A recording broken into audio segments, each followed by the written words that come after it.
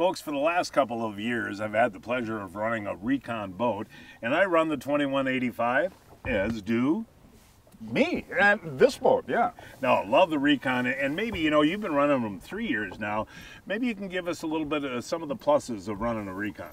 Well, one of the biggest ones I think is the uh, just the fact that it's a tremendous big water boat, John, and you know that as well now from being you're on the Bay of Green Bay and a lot of big water quite a bit. And uh, you know the bottom line is at the end of the day, the way this boat goes through the waves at high speed, if if you want as well, is pretty tremendous and. Uh, and very dry as well. Obviously, when you're quartering waves, there's no such thing as completely dry, but the boat just runs tremendously in rough water. And then the other thing, I love the way the boat sits for positioning. The bow is not the bow is not too high when you're actually you know working a spot in a big wind. This boat handles in the wind and controls better than any other boat I've fished out of. So boat control is extremely important. Everybody knows that.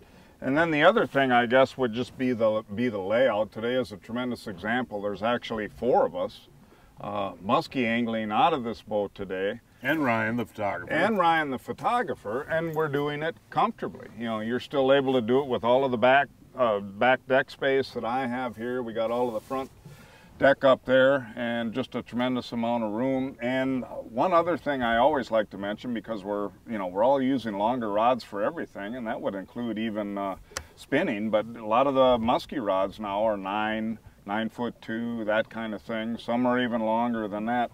The rod locker Ryan's sitting on right there is 10 foot four. You can fit those rods right in there. You don't have to break them down and it holds a tremendous amount of rods in there as well. So You hit right on the head for me because one week I'm fishing bass, next week I'm fishing trout, the next week I'm fishing muskies. And that rod locker is incredible. I've actually got 16 or 17 rods in there, so they're all set up for different species. That rod locker is sensational the way it is. And again, we fish a lot of times with four or five people in the boat. Uh, I never feel crowded in a recon. And the other thing that I really love about it too is the fact that these boats are handcrafted and built right here in Iola, Wisconsin. Yeah, that's true, John. Uh, and, and, and the owner, John, is, is just a neat guy. He understands the customer. He's a fisherman.